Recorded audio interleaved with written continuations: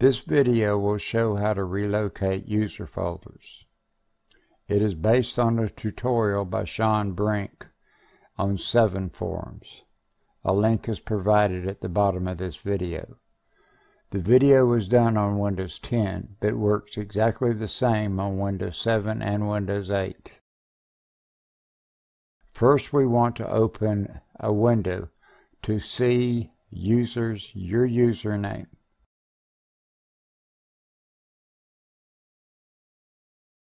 We want to open another window to the location of where you want to move the user files to. In my case, the data drive. You can use any folder structure you want. I prefer keeping the same user the same folder structure as on the C drive. We're going to duplicate the folders and C users on the data drive with the exception of the OneDrive folder. This just gives us a place to put the user folders when we move them.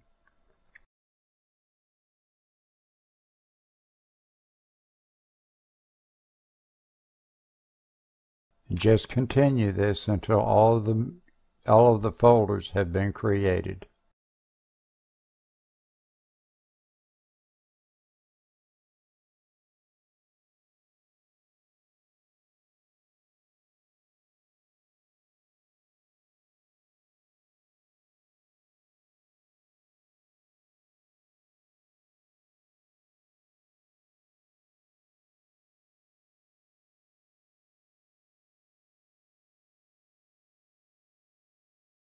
Now that we've completed creating our new folders, we're going to begin moving the user folders.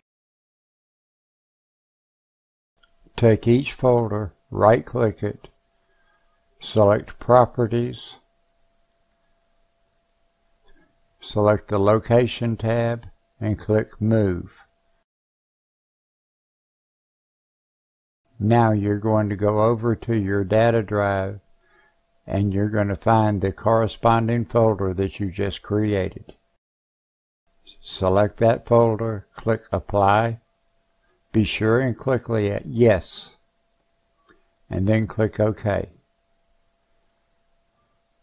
Then go to the next folder and do the exact same thing.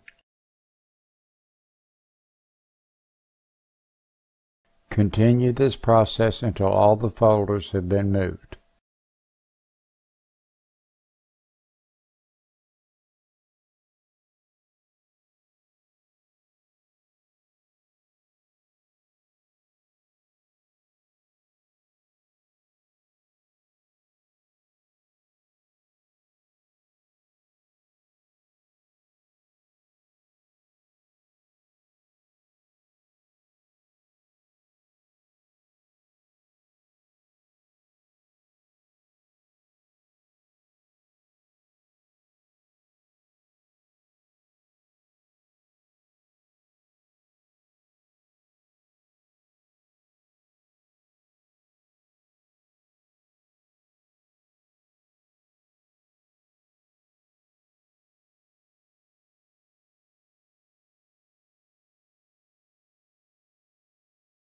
Now we can go check our folders.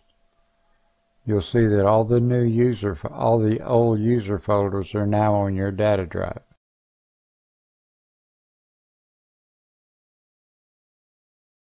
Everything in your operating system will work exactly the same as it did before.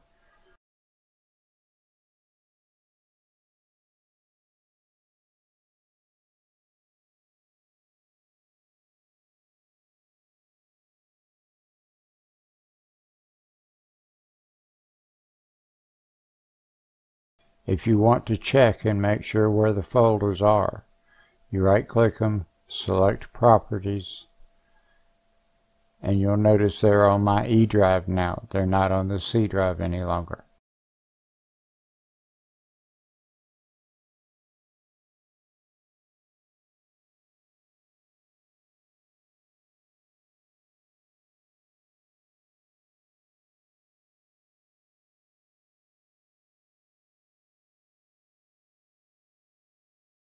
And that's it. we've successfully moved our user folders to another drive.